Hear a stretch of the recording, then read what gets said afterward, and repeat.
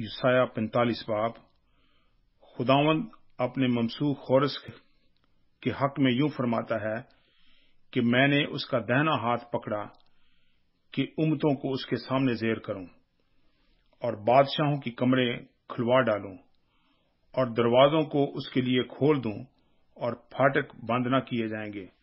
میں تیرے آگے آگے چلوں گا اور ناہموار جگہوں کو ہموار بنا دوں گا۔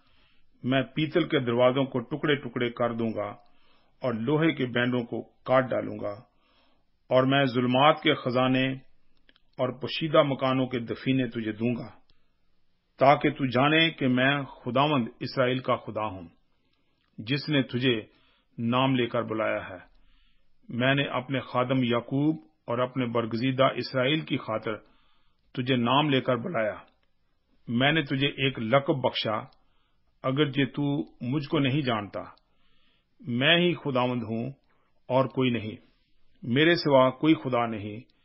میں نے تیری کمر باندھی، اگرچہ تو نے مجھے نہیں پہچانا، تاکہ مشرق سے مغرب تک لوگ جان لیں کہ میرے سوا کوئی نہیں۔ میں ہی خداوند ہوں، میرے سوا کوئی دوسرا نہیں۔ میں ہی روشنی کا موجد اور تاریکی کا خالق ہوں۔ میں سلامتی کا بانی اور بلا کو پیدا کرنے والا ہوں۔ میں ہی خداوند یہ سب کچھ کرنے والا ہوں۔ آئے آسمان اوپر سے ٹپک پڑ۔ ہاں بادل راست بازی برسائیں، زمین کھل جائے اور نجات اور صداقت کا پھل لائے۔ وہ ان کو اکٹھے اگائے۔ میں خداوند اس کا پیدا کرنے والا ہوں۔ افسوس اس پر جو اپنے خالق سے جھگڑتا ہے۔ ٹھیکرا تو زمین کے ٹھیکروں میں سے ہے۔ کیا مٹی کمہار سے کہے کہ تو کیا بناتا ہے؟ کیا تیری دستکاری کہے؟ اس کے تو ہاتھ نہیں، اس پر افسوس، جو باپ سے کہے، تو کس چیز کا والد ہے؟ اور ماں سے کہے، تو کس چیز کی والدہ ہے؟ خداوند اسرائیل کا قدوس اور خالق یوں فرماتا ہے کہ کیا تم آنے والی چیزوں کی بابت مجھ سے پوچھو گے؟ کیا تم میرے بیٹوں یا میری دستکاری کی بابت مجھے حکم دو گے؟ میں نے زمین بنائی اور اس پر انسان کو پیدا کیا اور میں ہی نے ہاں میرے ہاتھوں نے آسمان کو تانا اور اس کے سب لشکروں پر میں نے حکم کیا۔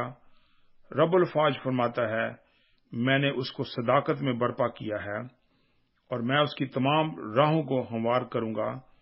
وہ میرا شہر بنائے گا اور میرے اسیروں کو بغیر قیمت اور عوض لیے آزاد کر دے گا۔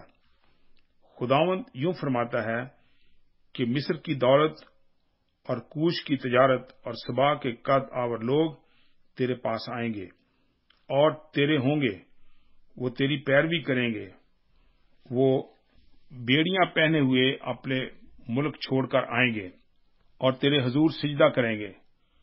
وہ تیری منت کریں گے اور کہیں گے یقیناً خدا تجھ میں ہے اور کوئی دوسرا نہیں اور اس کے سوا کوئی خدا نہیں۔ آئے اسرائیل کے خدا، اے نجات دینے والے، یقیناً تو پشیدہ خدا ہے۔ بت بنانے والے سب کے سب پشیمان اور سراسیما ہوں گے۔ وہ سب کے سب شرمندہ ہوں گے۔ لیکن خداون اسرائیل کو بچا کر ابدی نجات بخشے گا۔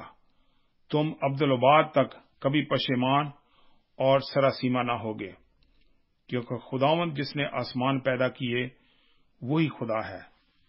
اسی نے زمین بنائی اور تیار کی، اسی نے اسے قائم کیا، اس نے اسے ابس پیدا نہیں کیا، بلکہ اس کو آبادی کے لیے آراستہ کیا۔ وہ یوں فرماتا ہے کہ میں خداوند ہوں اور میرے سوا اور کوئی نہیں، اور میں نے زمین کی کسی تاریخ جگہ میں، پوشیدگی میں تو کلام نہیں کیا۔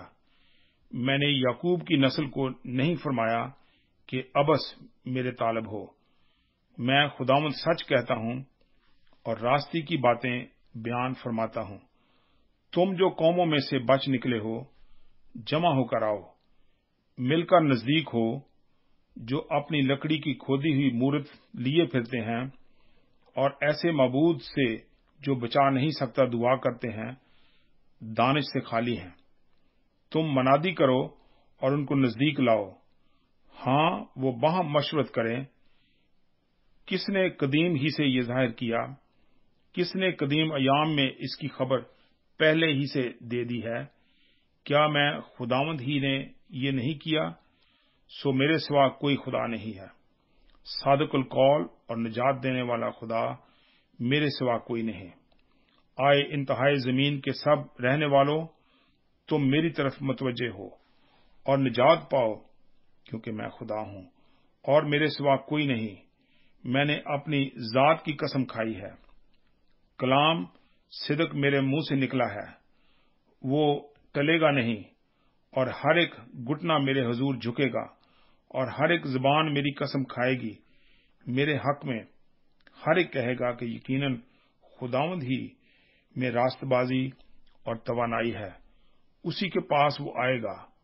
اور سب جو اس سے بیزار تھے، پشیمان ہوں گے۔ اسرائیل کی کل نسل خداوند میں صادق ٹھہرے گی اور اس پر فخر کرے گی۔